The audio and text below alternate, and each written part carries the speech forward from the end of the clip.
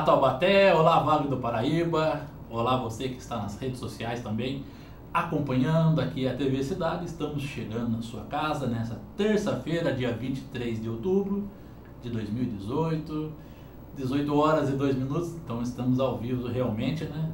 E meio atribulados com essa questão de mudança de horário. A gente olha no celular, está um horário, olha no computador, está outro, olha no relógio, está outro. Mas são 18 horas e 2 minutos, estamos ao vivo aqui. Terça-feira que é o dia do aviador e é o dia também da Força Aérea Brasileira. Nós temos aqui na nossa cidade é, nomes né, que atuam hoje aí na aviação oficial, na aviação comercial. Temos também amigos que atuam na Força Aérea Brasileira, né, Cátio? Cátio Augusto lá do CECAP, um abraço para você. Né? E então, então estamos parabenizando através do Cátio aí, dos outros amigos, todos esses profissionais que trabalham na nossa aviação. E lembrar que Taubaté, gente, é pioneira nesse assunto, né? Porque aqui tivemos uma das primeiras mulheres aviadoras do nosso país, inclusive reconhecida aí pelo presidente Getúlio Vargas. Então, para vocês verem como vai tempo, né? Na primeira parte do século XX. A Joana Martins Castilho, que inclusive ela é homenageada aí por um Rotary Club aqui em Taubaté, né? Leva o nome, tem nome de rua aqui na nossa cidade. E marcou aqui um famoso Guaraná que a gente conhecia como Guaraná Joaninha, né? Que era lá na estiva da família Marioto. Ainda existe Guaraná Joaninha, que homenageia a Joana Martins Castilho, né? mas não é mais aqui de Taubaté, né? Se eu não me engano, é, ou é da Cibal ou é de outra firma aí é, que é responsável. Mas a Joana Martins Castilho foi a nossa querida aviadora, né, que fez história no Brasil, né, e levou o nome de Taubaté também. Então, homenageando a Joana Martins, a gente homenageia também todas as mulheres que têm esse protagonismo. É, mudando de assunto, hoje teve a reunião lá do Conselho Municipal dos Direitos da Criança e Adolescente, né, mais uma reunião, reunião ordinária, reunião pós-conferência municipal, né, que foi na quinta e sexta passada, e parabéns a todos que atuaram na execução dessa conferência. Mais de 400 participantes foram eleitos os delegados, representantes desde crianças, adolescentes e adultos, que vão agora atuar junto à conferência regional e à conferência estadual. E hoje a reunião do Conselho Municipal teve aí a, a indicação das entidades selecionadas para aprovação da emenda impositiva de 30 mil reais Cinco entidades foram selecionadas das, dos oito projetos apresentados. Então, parabéns a essas entidades, né? E que possam estar desenvolvendo realmente novos trabalhos e projetos voltados à criança e adolescente. Não é muito, seis mil reais, né? Então, é, que esse dinheiro seja bem aplicado também.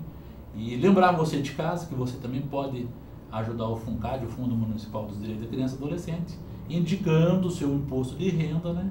Para o Conselho Municipal dos Direitos da Criança e Adolescente. Só conversar com o seu contador aí, que ele sabe direitinho como fazer isso. Se você não souber, é só entrar em contato também com o Conselho Municipal dos Direitos da Criança e Adolescente, que o pessoal vai prestar para você esse esclarecimento. Nós mesmos aqui da Data TV Cidade podemos também te orientar. Então entre em contato aí através das nossas redes sociais que nós fazemos isso. Último recadinho, a Secretaria de Turismo e Cultura está convidando aí todos os grupos fazedores culturais, artistas, companhias né, que participam, que utilizam do Teatro Metrópole para a reunião agora quinta-feira, gente, 14h30, onde vai ser? Lá no Centro Cultural Toninho Mendes, no Centro Cultural Municipal, então dia 25, quinta-feira, 14h30 essa reunião é para o uso né, do Teatro Metrópole sem a, o pagamento da taxa, né, que é pré-estabelecida. Né? Então, aí para a questão da isenção de taxa do uso do Teatro Metrópole pelos grupos, companhias e artistas da nossa cidade. Lógico que quem vai vir de fora tem que pagar pelo uso, né? Não pode sair de graça, mas os artistas da nossa cidade, a gente tem que discutir como que isso vai ser feito, né? Então é importante, bacana a iniciativa da Secretaria e é uma demanda que os grupos e fazedores culturais há muito tempo vêm lutando, debatendo, brigando, né, no bom sentido, para poder que isso aconteça. Então, é importante que os representantes agora desses grupos estejam lá, né, Ana Paula, Márcio Carneiro e o pessoal da secretaria. está esperando você. Nós estaremos lá também é, representando o Conselho Municipal de Cultura.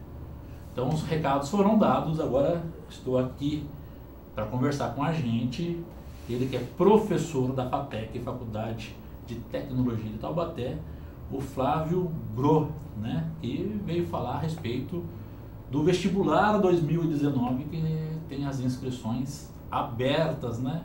E você sabe disso? Se não sabe, você vai saber agora. Primeiramente, boa noite, professor. Boa noite, muito obrigado pelo convite, obrigado pela oportunidade de estar aqui falando do nosso vestibular, da nossa FATEC, Faculdade de Ensino Público Gratuito aqui em Taubaté. Apesar da ampla divulgação, do trabalho que a FATEC já tem, da história que a FATEC tem em Taubaté, tem gente que ainda não conhece a, FATEC, né? E eu gostaria que o senhor falasse para a gente é, o que é a FATEC, o que ela oferece, você até falou gratuito, né? gratuitamente para a nossa comunidade. Isso mesmo. André, a FATEC é uma faculdade pública, é uma iniciativa do governo do estado de São Paulo e as FATECs existem já da década de 60. Temos mais de 50 anos de existência, 80 unidades da FATEC distribuídas por todo o estado de São Paulo, sendo que Taubaté é agraciada com uma unidade. Os cursos são de tecnologia, ou seja, são cursos superiores com três anos de duração. E eles são inteiramente gratuitos. É a única faculdade de Taubaté que oferece curso inteiramente gratuito. A única taxa que o aluno paga é a taxa do vestibular, que é o período agora que nós estamos para que o aluno faça a sua inscrição. Você falou que duram três anos, né? Quem se forma na FATEC, ele sai com a atribuição de tecnólogo, de bacharel é, ou de uma outra atribuição? É, o aluno formado, graduado na FATEC, ele recebe o título de tecnólogo. Tecnólogo é uma das três vertentes de curso superior no Brasil. Existe tecnólogo, bacharel e licenciado. O tecnólogo tem todas as prerrogativas de ensino superior, podendo prosseguir nos seus estudos, atuar profissionalmente e prosseguir nos estudos de mestrado, doutorado e outras coisas, se assim o desejar. Você também destacou que são 80 unidades né? no, é, estado, no estado de São Paulo. E cada região tem uma sua particularidade né, e os cursos voltados à demanda da região. Qual é a demanda? Quais são os cursos oferecidos em Taubaté?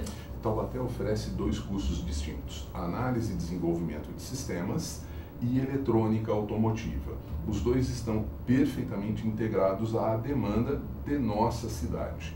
Nós temos um parque automotivo muito forte, muito expressivo, e nós preparamos a mão de obra voltada para a área da eletrônica automotiva, exatamente para atender esse parque. E o curso de ADS, Análise e Desenvolvimento de Sistemas, que são profissionais que atuam na área de tecnologia da informação com desenvolvimento, softwares, aplicativos. Cite exemplos para gente, para quem está em casa ficar bem claro. Quem se formou na FATEC aí num dos dois cursos que você apontou, ele pode trabalhar onde, por exemplo? Qual fábrica, de repente, que ele pode? Qual empresa que ele pode atuar? Muito bacana, muito boa esta pergunta. Então, eu vou citar alguns exemplos de alunos que já se formaram em nossa faculdade. Nós temos um grupo muito grande de alunos que foram graduaram-se no curso de eletrônica automotiva e estão atuando dentro da Volkswagen, dentro da GM em São José dos Campos, na, na área da, de autopeças, que são empresas que preparam peças para o mercado automotivo, tipo Gestamp, várias empresas desta área que absorvem os nossos alunos. Do curso de ADS, o leque é um pouco mais amplo. Eu tenho profissionais desde o setor público desenvolvendo softwares e aplicativos, até empresas como uma que nós visitamos na semana passada, é uma empresa em Pindamonhangaba chamada Embras. Ela desenvolve softwares para o setor público. É uma empresa muito bem consistente, já tem 25 anos de, de existência, ela absorve uma boa parte dos nossos alunos. Agora, outra situação que, principalmente quem é jovem, pergunta que está do, do, do outro lado, né? eu vou demorar três anos para me formar, é de graça, né? Mas mesmo assim vai demorar dois anos, tem que sair de casa e. Compensa eu me formar? Depois que eu tiver formado e empregado, eu vou ganhar quanto? Qual que é a, a média salarial de quem é formado, tecnólogo e frequenta aí, passa pelos cursos das FATECs?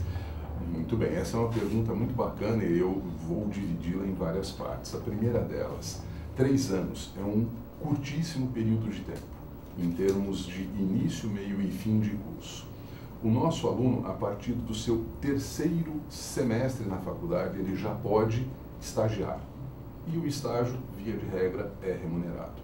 Nós temos estagiários que começam a sua atividade já recebendo 800 reais ou um pouco mais. Então isso já descortina um mercado, uma oportunidade muito grande. É, cito um outro exemplo, acho que vale a pena citar isso. Uh, semana passada nós recebemos a notícia que mais um aluno nosso do curso de ADS ingressou no processo de estágios da Embraer em São José dos Campos. Então é um, sabemos que é um processo bastante rigoroso e que é uma empresa que oferece uma oportunidade muito grande. Nosso aluno disputou com diversos outros, da, diversos outros candidatos de outras faculdades da região e ele foi o bem-sucedido da história. E lá nós sabemos que a chance de permanecer, de seguir uma carreira, aproveitando o dia do, do, do aeronauta, é uma oportunidade muito boa. Ele está abraçando essa causa. E é uma área que o Brasil ainda tem uma demanda muito grande, né? Tem um potencial enorme a ser explorado, né? Sem dúvida. A área a, a aeroviária é uma área totalmente a ser explorada, tanto na, na, na, aviação comercial de passageiros e de carga também. Professor Flávio, quantos alunos hoje é, abriga aí a FATEC Taubaté? A FATEC de Taubaté, nos seus dois cursos, Análise e Desenvolvimento de Sistemas e, e Eletrônica Automotiva, totaliza cerca de 500 alunos. São 40 alunos por curso que ingressam por semestre. Cada um dos cursos hoje tem 250 e poucos alunos. Quer dizer que é uma comunidade significativa, é, né? Como é. comunidade acadêmica significativa, né? Isso mesmo. E qual que é essa a estrutura? Quantos professores hoje atuam? De onde são esses professores? Como também são selecionados? Muito bem, essa é uma pergunta muito interessante. Por sermos uma faculdade pública, todos os nossos professores eles passam por um concurso público. Então existe um edital, uh, os interessados que têm o currículo uh, aderente à exigência se inscrevem, passam por um concurso em três etapas, uh, conhecimentos teóricos, conhecimentos práticos, ele aplica, é aplicado a ele uma aula teste, além do seu currículo, e o melhor pontuado é o profissional que é contratado pela FATEC, funcionário público, mas como tal, professor nosso. Hoje a Faculdade de Taubaté tem 34 professores, divididos entre os dois cursos. Também um, uma formação aí, docente muito forte, né? É, de fato, a exigência mínima para atuar como professor na FATEC, ele tem que ser pós-graduado na área mas nós temos professores que têm essa titulação, professores que são mestres, professores doutores e professores pós-doutorados também. Eles trazem toda esta bagagem, toda esta informação para o nosso dia a dia. Bom, quem está interessado, opa, estou interessado, estou assistindo um programa da Sede aqui na TV Cidade e já fiquei interessado e o, o rapaz lá não pergunta é, quando que tá, começa a, as inscrições? Já estão abertas? E como que vai ser esse processo seletivo? Muito bacana essa pergunta. A FATEC abre inscrição para o vestibular a cada seis meses, ou seja, nós temos alunos ingressando no mês de fevereiro de todo ano e no mês de agosto. Então, são dois, duas possibilidades, são dois vestibulares. Abrimos as inscrições na semana passada para os interessados em prestar o vestibular e iniciar as suas atividades no primeiro semestre de 2019. As inscrições começaram no dia 15 e vão até o dia 13 de novembro, impreterivelmente até às 15 horas. O aluno tem que entrar no nosso site vestibularflatec.com.br, fazer a sua inscrição, ele tem que preencher um, um, um cadastro de perfil socioeconômico, gerar um boleto, que é a única taxa que ele paga durante todo o curso, de 70 reais, e está presente no dia 9 de dezembro, que vai ser o dia do nosso vestibular. 9 de dezembro, meio-dia e 30, os portões se abrem, a prova vai até às 18h30. É, quem pode participar tem que estar tá concluído o ensino médio normal, ou ele pode de repente estar é, tá aí no último ano e já é, prestar? O aluno que está em fase de finalizar o seu ensino médio pode fazer o nosso vestibular. A condição é que no ato da matrícula, que vai acontecer no mês de janeiro de 2019, ele tem que estar com o ensino médio concluído. Ele tem que concluir até o mês de dezembro, para que no ato da matrícula em janeiro ele tenha a comprovação de conclusão do ensino médio. Essa é a condição mínima para que ele venha para a nossa faculdade. Bom, é de graça, mas existem também os requisitos, os documentos que têm que ser apresentados, né? Não é porque é de graça que você vai chegar de qualquer jeito lá, né? Tem que fazer aí esse processo. Que documentos devem ser apresentados no ato de inscrição e onde está sendo feita essa inscrição? A inscrição é feita totalmente online, pela internet, no site vestibularfatec.com.br. O aluno vai fazer o seu cadastro para prestar o vestibular ele vai prestar aquele vestibular e os alunos que forem aprovados no ato da matrícula em janeiro, aí sim apresenta testado de conclusão do ensino médio, uh, o RG ou um documento que comprove a sua identidade e um comprovante de residência. Não precisa ser morador de Taubaté, morador de todas as cidades da região podem frequentar a faculdade. Existe a possibilidade também de pessoas de outros estados virem fazer o vestibular aqui? Sim, sim. Nós temos alunos do estado de Minas Gerais que vêm aqui estudar conosco. Enfrentam essa serra aí todos os dias para vir estudar aqui conosco. E é aberto, é franqueado a eles, não, não existe nenhuma restrição com relação a isso. Maravilha. Quer dizer, que é, é um curso que é referencial, então, na região a ponto de extrapolar essas fronteiras do Estado, né? Com certeza. Os alunos uh, reconhecem, as empresas onde uh, temos alunos reconhecem essa característica, a formação, a sólida formação que os alunos recebem, e isso faz com que os alunos tenham mais interesse por vir frequentar os nossos cursos.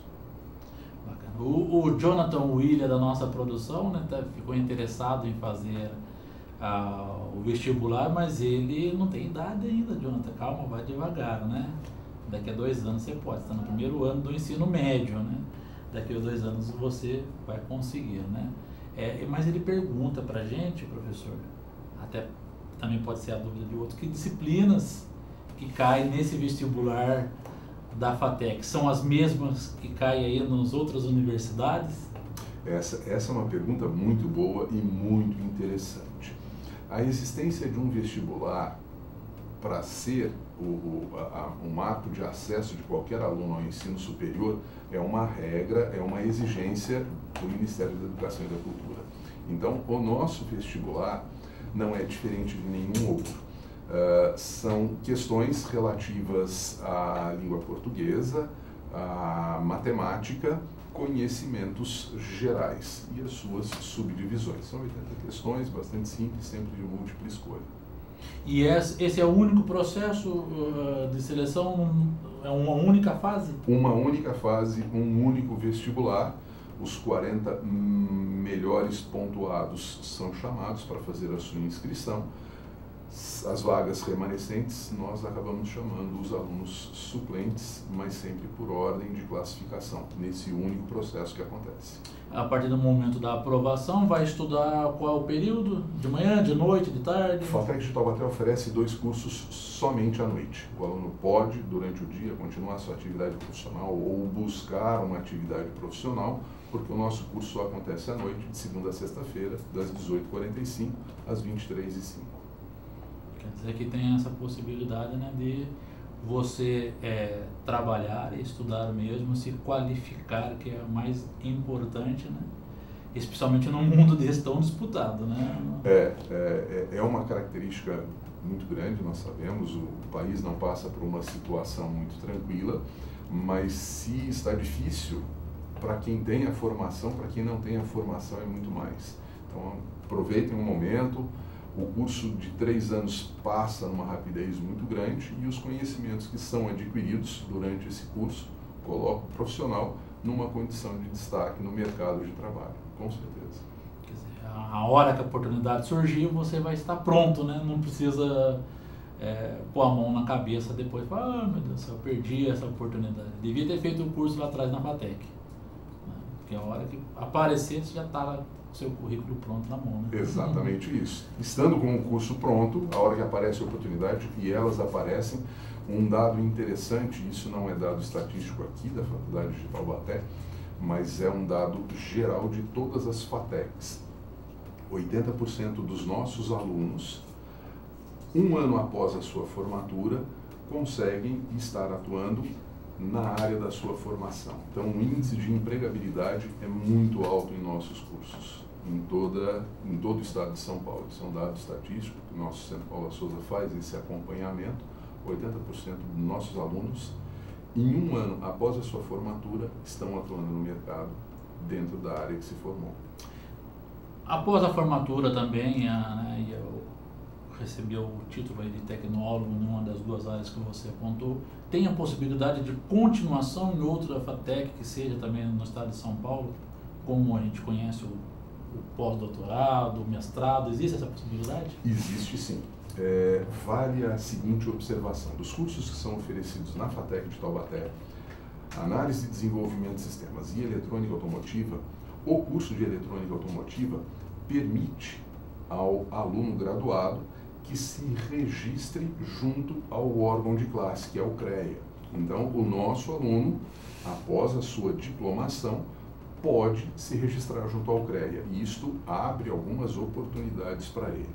Mas, além disso, e respondendo sua pergunta, a, o prosseguimento nas áreas de estudo são perfeitamente franqueadas. Faculdade de Taubaté ainda não tem as suas pós-graduações, mas várias FATECs já possuem. Uh, existe na Faculdade de Taubaté uma parceria com a USP de São Paulo. Então, parte dos nossos alunos eh, que têm interesse, eles prosseguem no seu, seu estudo. Então, nós temos um grupo hoje de ex-alunos que fazem um programa de mestrado da USP em São Paulo. Então, eles são alunos nossos, foram diplomados aqui e prosseguem nos seus estudos no programa de mestrado. Tem um deles que já está quase concluindo e já disse que vai prosseguir fazendo o seu doutorado. Então, isso é perfeitamente possível, perfeitamente viável. Se o, o interesse do aluno for pela carreira acadêmica, a formação dentro de uma FATEC permite dar o prosseguimento em pós-graduação, em doutorado, mestrado e assim por diante. Professor, tem menos de cinco minutinhos para a gente encerrar, eu gostaria que você deixasse aqui o, endereço certinho do, do, do portal da FATEC para poder fazer a inscrição, os documentos necessários, né? qual é o procedimento certinho para você de casa, pega caneta aí rápido, né? o celular, o tablet, qualquer coisa para anotar. Perfeito. Uh, o aluno interessado em ingressar na FATEC e pode ser qualquer FATEC. Nossa região tem FATEC em Taubaté, FATEC em Pinda, FATEC em São José, FATEC em Guaratinguetá, Cruzeiro, São Sebastião, Bragança Paulista também, que é aqui perto. São todas as cidades da região que possuem uma unidade da FATEC. Independente de qual seja o curso, de qual seja a unidade que o aluno tem interesse. O endereço eletrônico que ele tem que acessar é vestibularfatec.com www.educação.com.br. Neste site, o aluno vai manifestar o seu interesse, ele vai fazer um cadastro com seus dados pessoais escolher o curso que ele quer, em qual unidade ele quer fazer o curso. Terminado o cadastro, vai ser gerado um boleto, ele precisa imprimir este boleto e quitar. No ato da quitação, ele já está pronto e preparado, em termos de cadastro, para fazer o vestibular. Nosso vestibular vai ser no dia 9 de dezembro. Ah, no dia 25 de novembro, o aluno pode saber onde ele vai prestar o vestibular. Provavelmente vai ser na própria unidade onde ele se inscreveu. E o resultado sai no dia 9 de janeiro. vestibularfatec.com.br E uma possibilidade que eu não discuti, mas que eu lembrei ainda dá tempo, a possibilidade de isenção, né? Existem alguns. Existe. O que acontece? Esta taxa de inscrição do vestibular é, permite, é possível ao interessado que não disponha dessa condição fazer uma solicitação desta isenção. Para este vestibular de ingresso no primeiro semestre de 2019, já não é mais possível, esse prazo já se esgotou. Mas se a pessoa tiver nessa situação, vestibular do início do próximo ano, ele já pode fazer a solicitação de isenção. São concedidas uh, 60 mil isenções em todo o estado de São Paulo. Então, essa é uma, uma outra argumentação para que quem não tem condição, não adianta reclamar. Tem a chance, é só correr atrás dos seus direitos. Então, como o professor falou, professor Flávio Globo, não é motivo para você ficar em casa lamentando que não tem oportunidade, principalmente se você é interessado em uma das áreas oferecidas pelas FATECs em todos os estados de São Paulo, especialmente aqui de Taubaté. Né? Então, é só procurar a informação certinho e ficar ligado para não perder a oportunidade. Professor Flávio Globo, muito obrigado pela sua presença aqui. Seja sempre bem-vindo na nossa TV Cidade e traga sempre novidades da FATEC para a gente. André, eu agradeço muito o seu convite, a oportunidade. Nós ficamos muito felizes em ter a oportunidade de divulgar uh, o que é uma faculdade pública e gratuita. Nós que sempre manifestamos todo o nosso desagravo com tudo que acontece no nosso país, essa é uma chance. É o retorno aos impostos que todos nós pagamos, tem lá uma faculdade, ensino público, gratuito e de qualidade. Muito obrigado pela oportunidade. Obrigado, professor. Vamos a um rápido intervalo aqui no nosso programa das seis.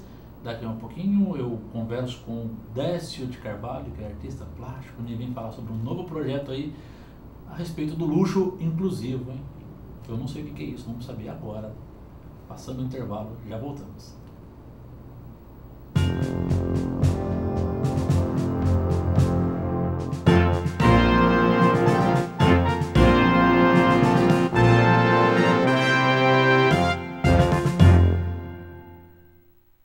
stop.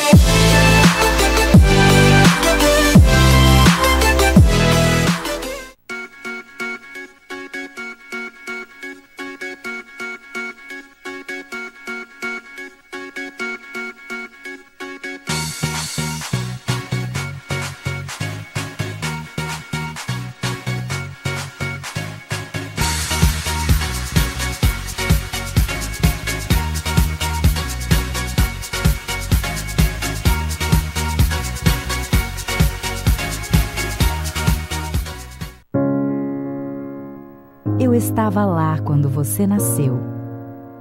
Cuidei do ambiente para você crescer e aprender. Até nos momentos de lazer estou com você. E não descanso até ver que chegou bem. Faço de tudo para que você se dedique 100% aos seus objetivos e nem se preocupe comigo. Meu nome? Milclean. Saiba mais em milclean.com.br. Novidade para você, Zé Bom Lanches, uma delícia de lanche. É bom demais. Trabalhamos com o verdadeiro catupiry e na compra de um lanche especial você ganha um refri 600 ou um suco. E não para por aí. Leve dois especiais e ganhe um refri de um litro e meio inacreditáveis lanches de 40 centímetros. Fone 991 41 1779 ou pelo WhatsApp 996 38 80 81. Seu sonho foi sempre o de estar na frente de uma câmera apresentando um programa de TV com a sua cara? Está esperando o que para realizá-lo? Entre em contato com o departamento comercial da TV Cidade Taubaté e saiba como.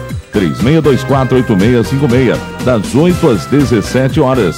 TV Cidade Taubaté, arroba gmail.com. TV Cidade, há 14 anos no coração da comunidade.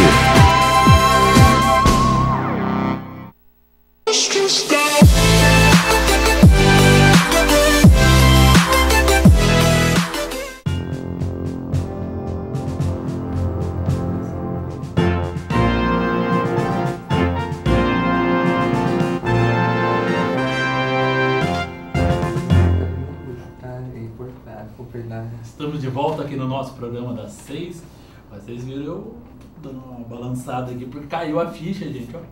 Literalmente, né? Não é a ficha do telefone, não. Que já não existe nem mais por aí para vender, né? Agora você ainda. Quem, quem sabe você acha algum estabelecimento aí, o cartão de, de telefone. Né? Então a gente falava antigamente caiu a ficha. Essa é a ficha do nosso entrevistado aqui do segundo bloco, dessa terça-feira, dia 23 de outubro de 2018. Ele que já veio aqui no nosso programa conversar sobre outros assuntos, mas agora eu recebo aqui o Décio de Carvalho Júnior, né? Sim. Júnior, para falar sobre um projeto que ele está desenvolvendo aqui com a TV Cidade chamado Luxo Inclusivo, né? Que vai destacar isso. Décio, boa noite primeiro. Que projeto que é esse, Décio? Então, uh, eu sou, né, minha, minha formação, eu sou pedagogo também, e é, mas há muitos anos, antes mesmo de, da pedagogia, eu já me envolvia com questões sociais, principalmente a aula com pessoas com deficiência visual e tal. E eu percebi que nesse meio havia o elemento moda, principalmente aqui no Vale Paraíba, não era inserido nas discussões. Por talvez tornar-se, por aparecer um assunto supérfluo, né? E só que era exatamente por essa questão é, que eu vi que daria margem a uma série de discussões. Né? É, tem duas frases, tem uma, uma, é, uma frase de um filósofo atual chamado Sérgio Detours que disse que pessoas felizes não consomem. Por outro lado, tem uma frase famosa do Wilde dizendo que a coisa dizendo que a coisa mais o mais importante é o supérfluo. Oscar Wilde diz. Então, são duas verdades que fazem parte da nossa sociedade. Porque assim como nós queremos primeiro sanar as nossas primeiras necessidades, depois a gente vai querer a nossa camisa, é, como a gente já discutiu, a nossa camisa de série limitada do Corinthians, por exemplo, que custa um valor razoável, né? Eu, né, eu que, por exemplo, eu quero ter o meu boné né, que eu estou hoje aqui. Então, cada um tem o seu luxo, o foco. Então, é, é, é, é, é e luxo vem dessa, exatamente de uma, uma palavra que significa excesso, excedente. Aquilo que você já tem, mas você, quer, você não quer só o necessário, você quer o excesso também. E aí, cada um, a sua maneira, cada cultura tem o seu excesso. Aquilo que, mas esse excesso constitui a personalidade do indivíduo. Então, quando eu comecei a trabalhar com as pessoas com necessidades especiais, eu, eu percebia que elas tinham o básico, mas elas chegam um momento que elas querem o excesso, porque o excesso é que também constitui a personalidade da pessoa.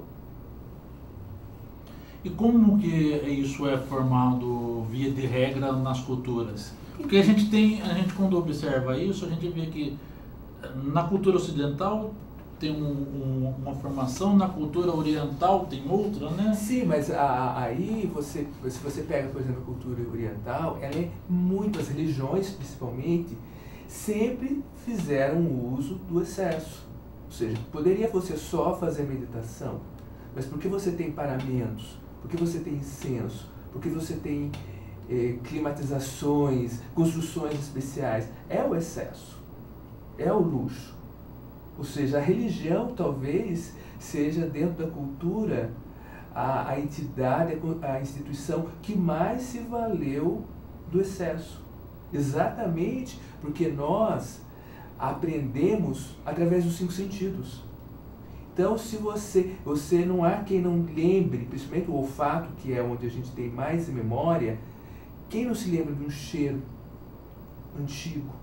Então, principalmente a religião, ela se valeu muito disso, de estimular. A indústria, por sua vez, também se faz, faz uso disso. Então é, é, muito importante. A gente fala, acho que isso é uma característica da cultura ocidental, mas a cultura oriental, que é muito mais antiga até que a ocidental, também se valeu disso. Então a gente, se a gente for ver, uh, por exemplo, a maneira como as, as, uh, os indianos se vestem, os africanos, a decoração de corpos, né? assim como uma ocidental é, ou uma, uma tobatiana vai comprar sua bolsa de, de mil reais numa boutique. Então, é, como a gente vai julgar isso? Qual, quem é? Quem é mais, o que é mais relevante? Né? A própria a, o, o, o Metropolitan Museu de Nova York no último ano, ele fez uma exposição que tratava da vestimenta do, de, do clero católico. Exposição dentro do Instituto de Moda, do, do Museu Metropolitano de Nova York. A exposição, o tema era exatamente os paramentos da igreja. E de quanto isso influenciou a moda. Né? Então, é, são, são, né, são questões. E a, a ideia de, de do, do, projeto, né, do Luxo Inclusivo, é criar uma plataforma de Instagram, de Facebook, exatamente para perceber, uh, a gente começou a, é, a, ver que tem hoje, né, essa aqui é a revista L, não sei se dá para mostrar aqui. Então, a revista L, ela trata do tema, né? É uma, é uma revista de grande circulação, especializada em moda. E a Marie Claire, ela traz o título dela exatamente Os Novos Valores da Moda. Até essa modelo aqui é muito conhecida, mas ela é um modelo negra que tem vitiligo. Né? Então, existe uma frase chamada Fashion is change, ou seja, a moda está mudando. E não sei se isso é bom mocismo, exatamente, porque é um nicho de mercado, mas de qualquer maneira, nós, é, quando a gente começou a criar a plataforma, a colocar principalmente no Instagram, a gente viu que tinha meninas, é, por exemplo, cadeirantes, que são fissuradas em moda, pessoas com alguma necessidade especial que são fissuradas em moda. E elas queriam se ver, elas queriam discutir, mas não em função da deficiência, da característica dela, mas em função porque gostava de moda, assim como de repente o garoto down gosta de futebol, assim como tem um garoto down que é faixa preta de jiu-jitsu, essas meninas, inclusive, vêm se tornando modelos. Essa mudança que você aponta aí da moda, não vem dessa necessidade apontada pela própria sociedade de mudar esse senso comum que tem de que luxo é algo que somente a elite tem alcance, que é só a elite que pensa? É, hoje a gente tem um fenômeno chamado, a gente tem a geração do milênio, né? pessoas abaixo de 20 anos. Essa geração que nasceu totalmente conectada, os valores dela são outros. Então ela prefere muitas vezes pagar por uma camiseta mais cara, desde que essa camiseta é, não tenha mão de obra escrava, ela venha de algodão orgânico, então mudou. E a indústria, como um todo, ela é muito sensível a esse público, abaixo dos 20 anos, porque de qualquer maneira eles sempre são a vanguarda do consumo. Sempre. Então o que eles passam a consumir, com certeza, a partir de determinado momento, toda a sociedade vai, vai consumir. Como essa geração ela é muito mais é, tolerante, digamos, de alguma maneira, as diferenças, ou seja, eles se exibem mesmo aquele que é, é, o plus size, né, o que a gente chama daquela pessoa, é, o gordinho, ou aquele que é. Ele começou a perceber que ele também pode consumir e ele também pode se exibir. Né? Então, é, ele viu que ele tinha mecanismo, a, a, é, pelo esse fenômeno de, de, de, de mídia, que outras pessoas eram parecidas fisicamente com ele. Falei, olha, poxa, ele está fazendo uma coisa que eu quis fazer. Eu queria né? Por exemplo, eu tenho uma amiga que é deficiente visual e tem tatuagem. Falei, poxa, eu também quero ter tatuagem. Né? Ainda que eu tenha uma, uma deformidade, mas eu quero ter uma maquiagem legal, quero ter um make legal, quero ter um cabelo legal. Assim como todos nós. Então, é, como eu, eu vi pouca discussão é, no meio social, no meio social digo, esse, exatamente social, digo discussões sociais, que eu frequentava em relação à educação, é, como não era um assunto em pauta, eu, eu, e eu também não queria insistir de colocar o assunto. Falei, não, eu vou trabalhar já direto na fonte, já vou trabalhar com esse público através das plataformas, através de Facebook e Instagram. Então a gente já tem seguidores de outros países, a gente começou a seguir pessoas de outros países começou também a ter seguidores de outros países porque a gente falou, ah, vamos, já que a gente vai trabalhar com luxo, vamos nivelar por cima. Então a gente começou a seguir grandes marcas internacionais. É, uma delas, que eu acho que é muito é, referência nesse ponto, é a Stella McCartney, né, que é filha do, né, do, do Paul McCartney e tal, mas acima de tudo ela é uma grande estilista e ela é vegetariana, aliás, ela é vegana, assim como o Paul McCartney. Então ela começou dentro da marca dela, que ela é dona, né, ela instituiu assim, nada de origem animal. Então, para uma indústria de luxo que vive de pele, de couro, há 20 anos isso foi um choque. Só que ela encontrou um nicho de mercado de pessoas que passaram a consumir Stella McCartney. E hoje, uma das grandes, é, talvez uma das grandes visibilidades da marca é exatamente ser essa marca que não usa pele. A Gucci, que é uma grande marca, também falou, não usamos mais pele. Pode ser jogado de marca? Ok, mas uh, no caso da Stella McCartney, é uma questão mesmo de, de, de, de consciência. De qualquer maneira, sim, virou produto, virou mercado. E é, isso é muito bom, porque a ideia de ficar só trabalhando em cima do bom mocismo se dilui com o tempo. Mas é quando você, você consegue jogar isso para o mercado, o mercado compra ideia é ótimo. Quando né, o mercado. Uh, e hoje, é, isso tem uma questão ambiental. Né? A indústria de moda não é mais poluente, mas ela é uma das grandes poluentes. Né? Talvez ela, é, as indústrias mais, poluentes talvez seja de petróleo e a pecuária. Né? Aí também entra numa outra discussão que a gente está falando. Não vamos é, obrigar ninguém a ser vegano, mas a gente vai, como é luxo, incluir gastronomia. Então, de oferecer opções gastronômicas que consumam menos, menor proteína, né, quantidade de proteína animal, né, tem uma questão ambiental. E a indústria de vestuário, ela tem a questão dos tingimentos, né, e tem a quantidade de agrotóxicos usados na indústria de algodão é muito grande. Tá? Então eu falei, vamos discutir. Porque a, a ideia do luxo não é uh, você só consumir, mas você olhar, olhar de repente o seu guarda-roupa e falar, bem, eu posso dar essa roupa, eu posso voltar a usar, eu posso trocar com alguém. Né? Isso é muito moderno, antigamente era algo assim, até mal visto, nossa, comprou vazar de bichincha. Uhum. Não, hoje é um assunto descolado. Falando nisso, hoje aí os brechós são esses, então, são esses espaços, é, esses pointings. Sim, hoje. Não só de, de, de, de, troca de compra e venda, mas ele tem todo um aspecto sim, cultural. Ele, então, hoje a gente já tem, até aqui em Taubaté, um brechó hoje já envolve uma cultura alternativa, então ele mobiliza o um mercado criativo. E antigamente você usava uma roupa, digamos, 50 vezes mais, 100 vezes. Hoje você usa 10 vezes.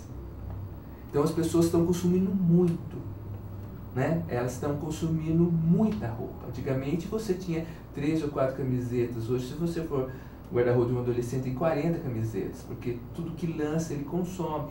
Então, é para também é, refletir isso. Por que, que eu não posso repetir roupa? Né? Hoje, a grandes celebridades do mundo, até nobreza europeia, a realeza britânica, faz questão, é repetir roupa. Eu fiquei espantado, a gente está fazendo uma pesquisa aqui de um amigo nosso que tem um, um parente que foi apresentador aí, e o apresentador ele nunca repetiu uma camisa no programa, fez mais de mil programas e nunca tinha repetido uma camisa. Eu fiquei espantado. Só essa da TV Cidade já repetiu umas 100 vezes esse ano. Mas será que não repetir roupa é moderno? Não é. Não é mais moderno. Então, você, por isso que a moda está mudando. Que quando a pessoa ostenta dizer que nunca repetiu roupa, hoje nos meios assim mais de tendência gera um certo constrangimento. Eu falei, antes era algo até bem visto, não, não repetir roupa. Hoje não sou moderno. Tá? E quem é moderno? A juventude. A juventude que está empurrando esse conceito. Ela está impondo não sei se os adultos vão assumir de imediato, mas vai ter que né, se adequar, né, é, essa questão. Então, a gente tanto tem uma questão ligada realmente a, aos indivíduos uh, né, que não estão dentro daquele padrão né, ditado pela moda, daquele perfil longilíneo, etc, etc, como também por uma questão ambiental. Mas ah, lá, ah, por exemplo, os desfiles ah, apresentados na Europa, pelo menos nessa parte de diferenças de biotipos, são diversos. Antigamente você tinha aquela padronização. Hoje já existem muitos afro, né, afro-americanos ou afro-brasileiros, é, muito orientais nas passarelas. Até os, as pessoas mais gordinhas estão aparecendo. E isso nas grandes marcas. Dolce Gabbana, é, Marta Margelá, né, é, Balenciaga. E o foco, o, o, quando a gente começou também a discutir o formato é, do programa, a gente até fez algumas lives, é mexer com a moda um pouco de vanguarda. Assim. A gente se, se propôs, falei, não, vamos, vamos pegar as grandes marcas que, que, que realmente detêm as referências e tal, e está sendo custoso, mas assim, o que, o que a gente se propôs é, é, é, é assim, é fazer um, um, trabalho gostoso entre nós. A gente procurou pessoas que tinham interesses similares, está sendo muito interessante. O Décio falou assim, quando a gente começou a fazer o programa, ele falou meio tímido, parece que ele não quer revelar pra gente. O que, que ele não quer revelar? Né? Ele falou das redes sociais, assim, ele falou bem. Não, a gente vai fazer agora, então, agora mas eu quero fazer o programa TV Eu quero saber do programa aqui na TV Cidade, como então, vai ser. A, a, o pessoal da TV Cidade me convidado há alguns anos para fazer algum programa de entrevista. Né? Eu pensei, bem, agora é a hora, porque é um assunto que eu senti que era, é o assunto do momento. Eu falei, bem, e ser numa cidade assim do interior e tal, tem todo um componente exatamente disso, de que hoje a informação está em todo lugar e por que não a partir daqui trazer um canal de discussão para outras, né, ou para as outras cidades, porque na verdade, a, através da, das redes sociais, você está em contato com o mundo. Né? Você está em contato com o mundo, então não existe mais a ideia de ser de uma grande cidade, uma pequena cidade, uma grande rede. Eu já tinha tentado levar a discussão para redes, outras redes de televisão, mas a, a pauta deles é muito fechada.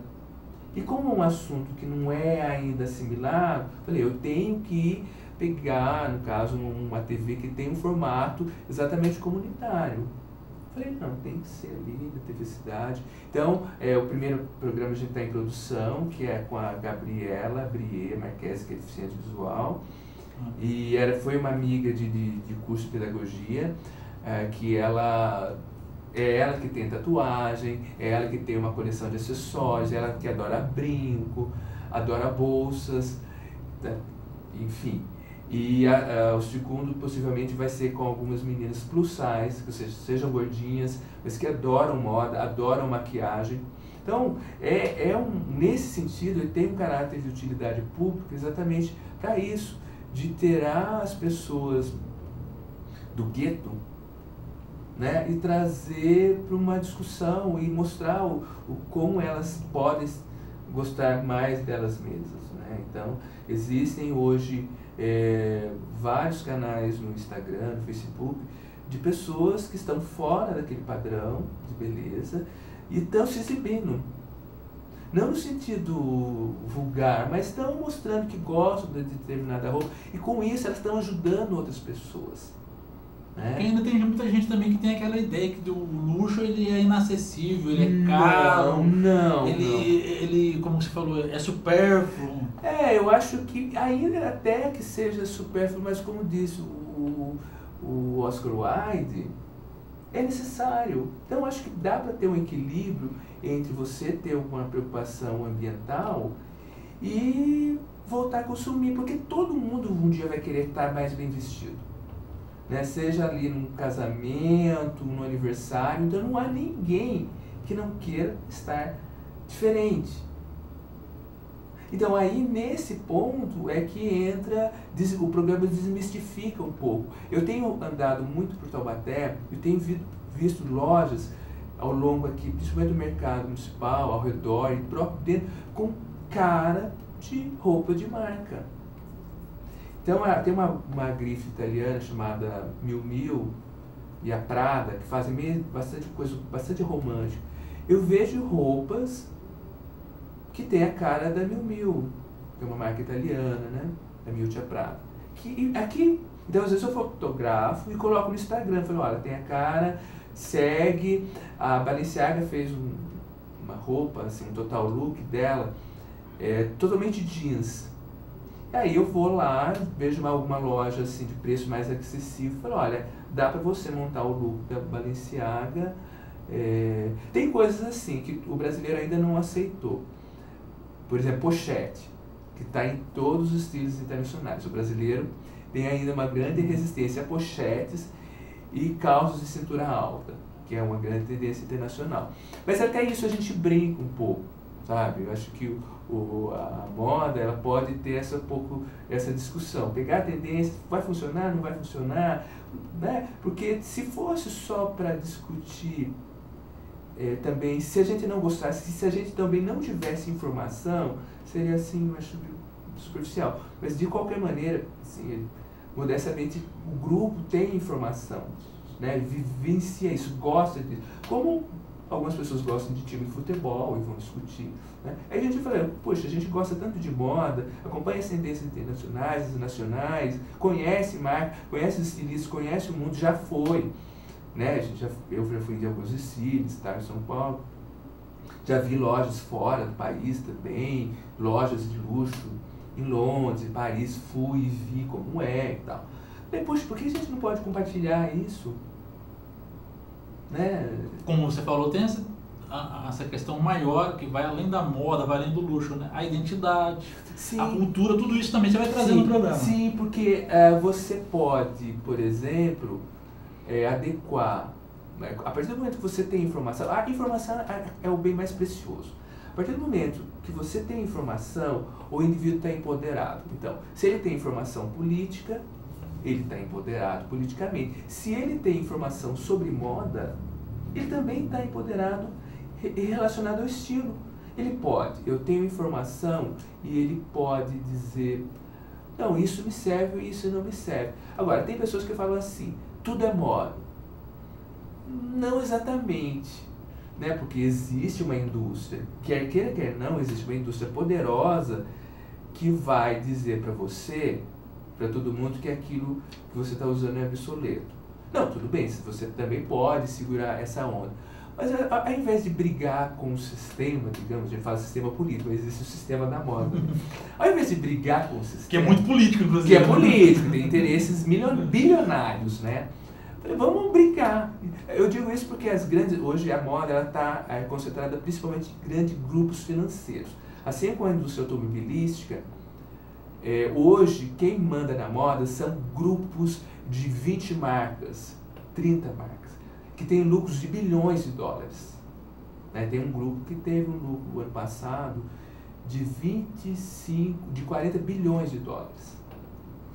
40 bilhões de dólares. Orçamento de muitos países aí. Exatamente. é um grupo econômico ligado à moda que, que é, é, então assim, é muito. Falei, mas não é nada é mais social e político de que você munido dessas informações falar tudo bem, ok. A, a, Gucci é muito enfeitada, ela tem um estilo assim é, andrógeno, é, moderno, extravagante, tá. Aí eu vou numa loja ou no brechó e falo assim, puxa, esse casaco tem a, cara, tem a cara da Gucci.